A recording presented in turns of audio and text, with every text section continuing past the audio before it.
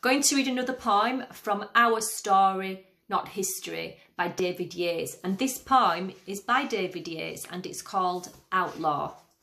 Denied the right to fight with might isn't how it's meant to be. Self-defence plus common sense has always been the key. When the law is turned on man, stepping outside of its a must. Outside no hide, law so defied by my disgust. Outside of those laws that should be flawless, my escaping law's red tape now deem me lawless. Upon flawed laws I pour my scorn, as my legal's protections now being withdrawn. I'm an outlaw with his cause that goes beyond rebel. Without sin, I'm him, now casting truth's pebble. I like that poem, David. Good one.